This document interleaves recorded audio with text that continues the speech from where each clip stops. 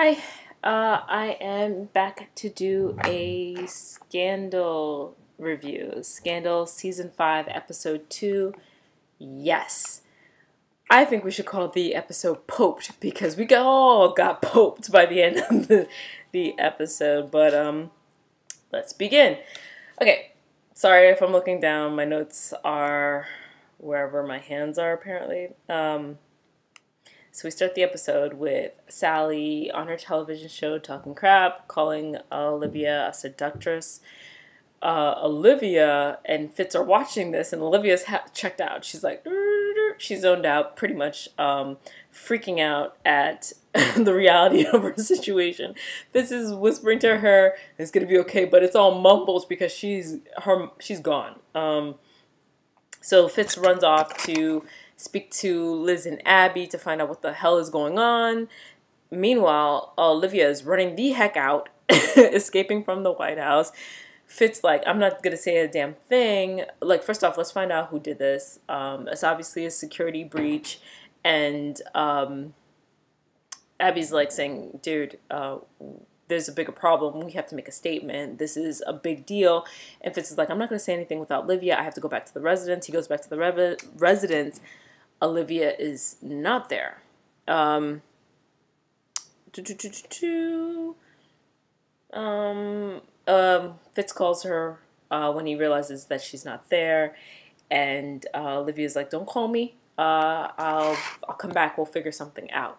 Olivia goes to um, Quinn's house and pretty much asks her uh, what cases are there because she needs to work.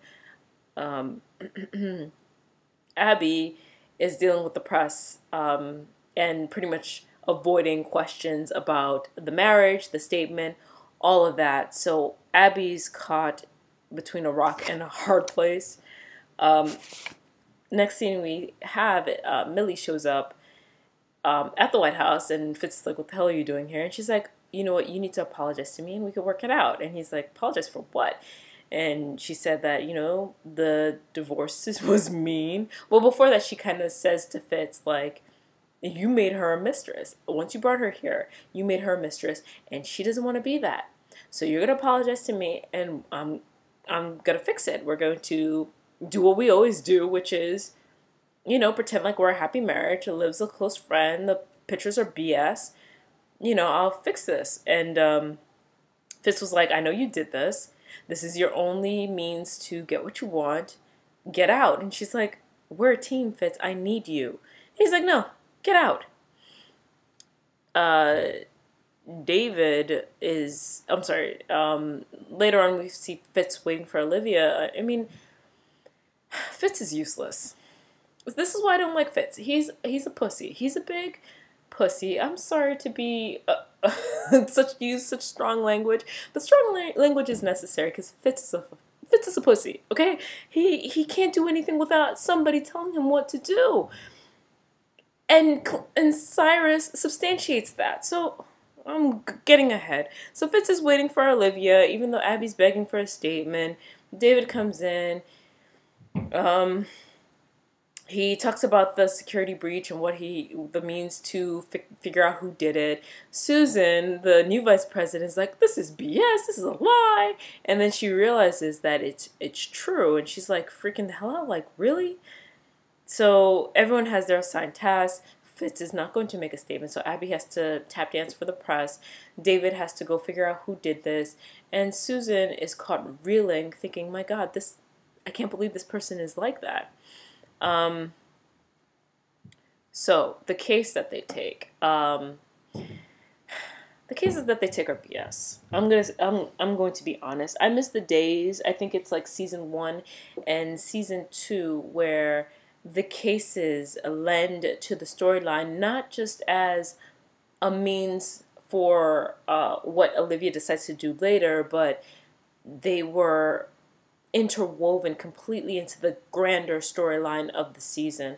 Right now, the cases are BS. They're forgettable. You don't really remember their names. You don't really care. They're just, you know, let me explain the case. So, a kid, okay, the stepmom calls Olivia because um, her husband was killed. Her husband, Walter, an older man, she's super young husband was killed by uh, they th- allegedly by her stepson Gavin. Husband's name's Walter. Gavin's the stepson. Gavin was um, arraigned and made bail. Um, she made bail. She paid the stepmother Stephanie made bail, paid the lawyer, and Gavin in turn books it. He disappears, and they're supposed to check in every 48 hours. So she calls Olivia to find the Gavin. So this is similar because Olivia obviously wants to run from the situation. Gavin's on the run from murdering his dad, allegedly. Um, we found out he does it, murdering his dad, and it's the the case lends to it, it mirrors what's happening in the greater storyline but the greater storyline I, I i just the days when the cases were substantial anyhow i'm just rambling on too much about it so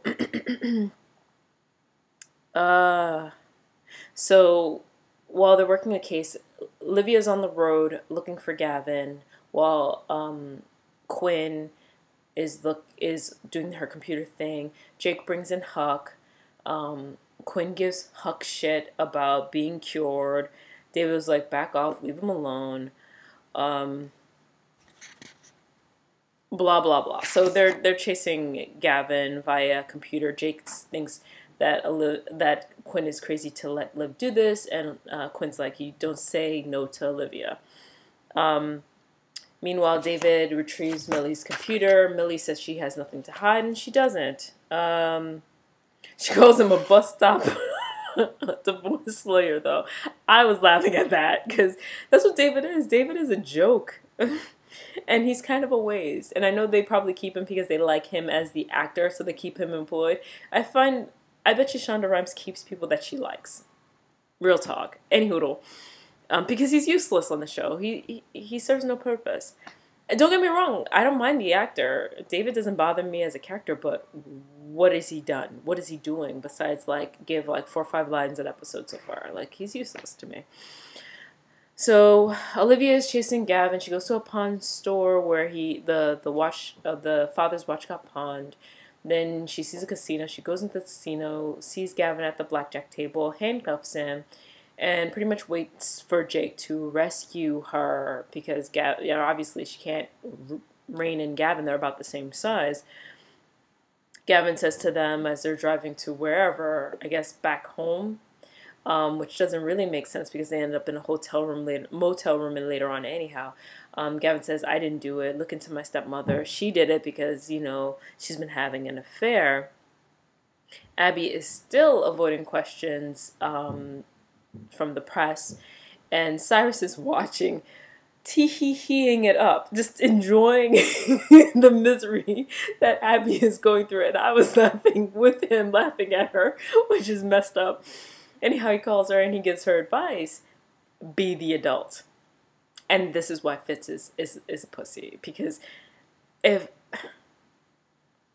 So Fitz is a baby, Fitz is a pussy. Um, how could.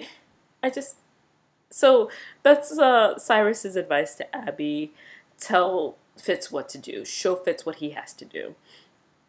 So it turns out um, while Jake and Olivia and Gavin are waiting in the hotel room for the results of Quinn and Huck's further investigation into Stephanie, they found out that the affair is true. Gavin begs for food. They go to a diner and uh, well, before they go to the diner, Gavin sees Olivia on TV, makes the comment, "Oh, I see we're both on the run," which is, you know, I mean that's what it is. Ultimately, um, there it's the same. The, the storylines are the same, even though this minor plot serves the major plot of the story, and it's just terrible writing. But, anywho, um, Jake confronts her about what she's going to do. Quinn is still acting like a bitch to Huck. Um, Abby gets in front of the press again, but this time she follows Cyrus's advice and makes a statement. Says they're the, the Mellie and Fitz are together. She still lives in the White House. They're a team. Fitz is pissed off. Tells Liz to check her, check the situation. Liz Liz goes to Abby and says, "Okay, well." I can't fire you because it's going to make it worse, but you need to sort your, your shit out because we do the strategy, you're just the mouthpiece. You're not supposed to do anything else. Gavin, Olivia, Jake go to a diner. Um, while Gavin gets up to go to the restroom, you see him whispering to two other people at a table. Um, he pretty much whispers to them, and that's Olivia Pope. And they bum rush. Uh, Jake goes to follow Gavin to the bathroom. The the people bum rush Olivia to take pictures, which I don't know why you'd want to take pictures with the mistress. Um, uh, the bum rush of people, um, Gavin uses as a distraction to run the heck out because Jake, of course, comes in and saves her. Um, Jake. Oh yeah, uh, let's. I'm going in order of the episode. So Abby goes to see Cyrus, who approves of what she she's done, and pretty much says that you know why Olivia ran. You know exactly what Olivia wants from the situation. She doesn't want to be a mistress. She doesn't want to be in the storm. You have to tell Fitz this. Susan, and this is one of my favorite moments of the episode. Susan confronts Fitz and says, "You." do you think about the American people? Do you think about the people who voted for you? And Fitz is like, well, I fell in love. And, and Susan's like, you don't get to be normal. You don't get to be flawed. You're the president. Act like it. And she walks out. She pretty much guilts him. Um, Olivia is hiding out in the room from the press because the press swarms the area. They're looking for her. And she snuggles up with Jake. this is so unfair. Jake is such a good guy. This is why Jake is bae because he he comforts her. He snuggles with the bitch, and she's talking about being in love with another man. Like, who does that? Where is that cool in the park? You know, lies. I, I, my, me and my ex boyfriend are, are very good friends. Um, the one I was with for uh, years. He has a new girlfriend now, and I'm happy for him, and we're understanding like that. But I would never ask him to snuggle with me. That's not how it's gonna go down. Um, anywho, neither here nor there. So um, they snuggle, and he tells her that you know when the adrenaline hits, you know exactly what to do. So um, that's used for later on. So Abby confronts Fitz, says, "Oh, you know she's with Jake. You have to do the right thing." Fitz, uh, Olivia would never want to be your mistress. She would never want to be out. Of. She would never give her life away for you like that. So Quinn gives Huck more shit. They fight, he leaves, but Quinn later on finds out where Gavin is, which is that um, Quinn tells the team that she uh, figured out where Gavin is. Um, apparently, Gavin was stealing from his father. The father was going to change his will to exclude Gavin, um, and he is running to his, the the house that he was trying to build with his father's stolen money. Um, Jake and Olivia go over to find him. They call the cops on him. And that's sorted out. Um, Fitz. Oh, did I say already? Abby confronts Fitz. Yeah, I did.